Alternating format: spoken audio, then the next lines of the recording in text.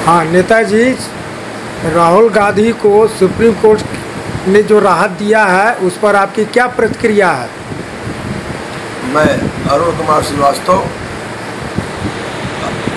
संयोजक, भारत बचाओ, संविधान बचाओ आंदोलन, सुप्रीम कोर्ट द्वारा राहुल गांधी को राहत हर हाल में मिलना ही मिलना था, क्योंकि यह तो एक षडयंत्र के तरह तहत उनको मैक्सिमम सज़ा सुनाई गई थी।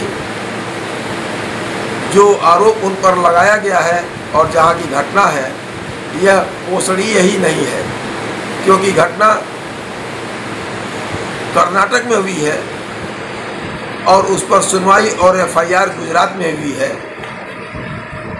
जब इस देश में एक थाने की घटना पर दूसरे थाने में एफआईआर नहीं लिखी जाती है और एक जज के जुरिस्डिक्शन को दूसरा जज उस केस को नहीं देखता है, जो दूसरे जज के जुरिस्डिक्शन का है। तो यहाँ तो एक स्टेट से दूसरे स्टेट का मामला था। यह किसी भी प्रकार से पोषणीय नहीं है। और जिस जज ने भी, जिस मजिस्ट्रेट ने भी इसका कॉग्निजेंस लिया है, उसके विरुद्ध कायदे से स्ट्रक्चर पास किया जाना चाहिए।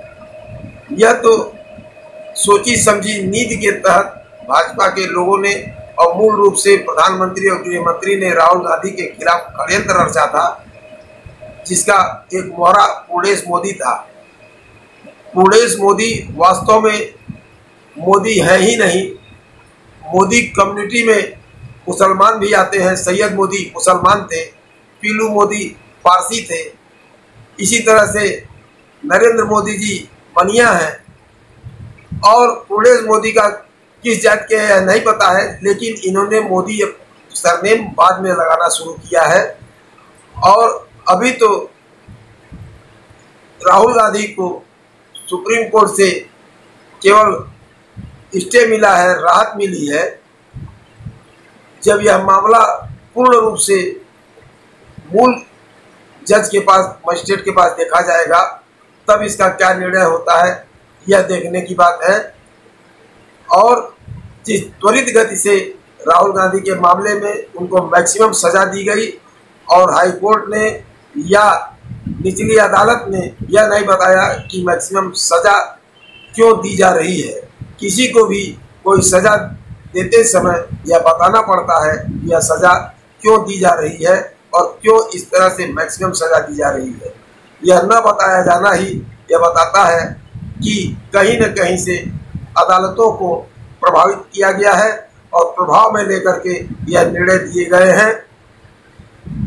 सुप्रीम कोर्ट ने दूध का दूध और पानी का पानी कर दिया है। यह तो केवल